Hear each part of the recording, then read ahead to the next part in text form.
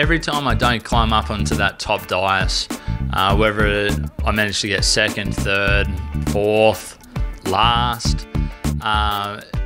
showing respect to your other competitors that you're racing against is probably the most important thing uh, that you can do you know, after the race, before the race.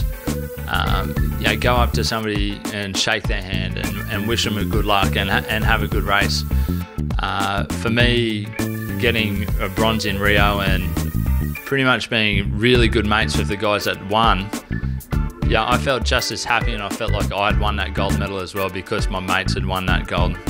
medal from Germany. So uh, having respect, and I know they respect us as well, um, is probably really good.